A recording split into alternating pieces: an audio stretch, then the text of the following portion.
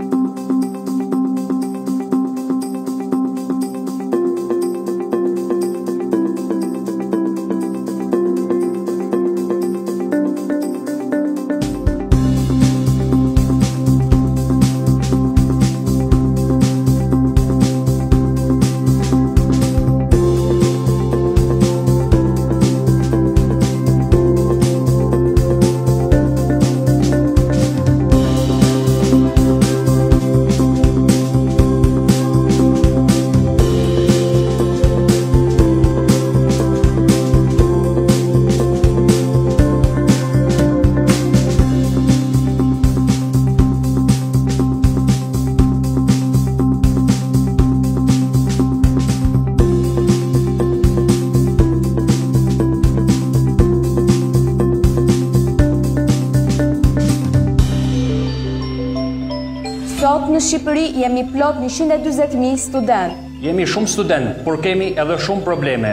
Na mungon infrastruktura dhe shpesh metodat e mësimdhënies lënë për të dëshiruar. Pedagogët injorojnë rregulloren. Jemi përballur me mungesën e transparencës në vlerësim. Ka pedagogë që na detyrojnë t'ua blejmë librat. Apo pedagogë dhe studentë fantazëm, nga ata që nuk i shohim kurrë nëpër auditore.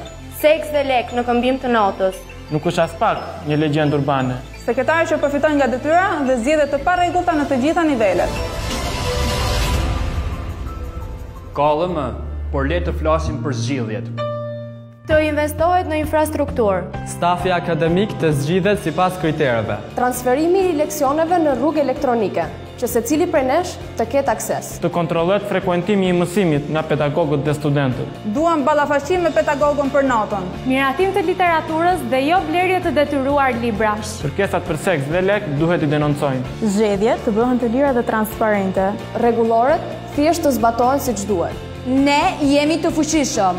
Duam ndryshim dhe përmirësimin e sistemit. Sot jemi vetëm njëzet për qind e popullsisë. Nesër njëqind për qind e saj. Nesër njëqind për qind e saj. Bashkohuni me ne. Bashkohuni me ne. Bashkohuni me ne. Kundër korrupsionit në arsimin e lartë.